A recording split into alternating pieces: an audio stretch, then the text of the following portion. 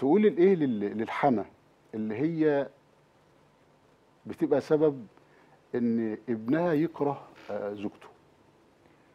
أنا بكرر تاني وبقول إن يعني سيبي ابنك يعيش. أنت محتاجة إيه غير إنك تشوفي ابنك كويس مع زوجة كويسة مستقر في حياته بأولاده؟ سيبوه يعيش. وسيبوه يمارس حياته الطبيعية مع أولاده ومع زوجته. مش هينفع إن إحنا نعكر صفو حياتهم حرام. يعني إحنا هنسأل عن الكلام ده. أنت ليه م... ليه بخلانة بابنك على على بنت الناس؟ ما هم برضو بنتهم تعبوا فيها. بكرر تاني. أنا تعبت في ابني وحمات ابني تعبت في بنتها. يعني أنا لو عندي ابني أنا إيه المشكلة إن أنا أسيبه يعيش حياته؟ سيبي ابنك يعيش ويمارس حياته الطبيعية. دي سنة الحياة. ما يبقاش عندنا حب التملك حتى لأولادنا.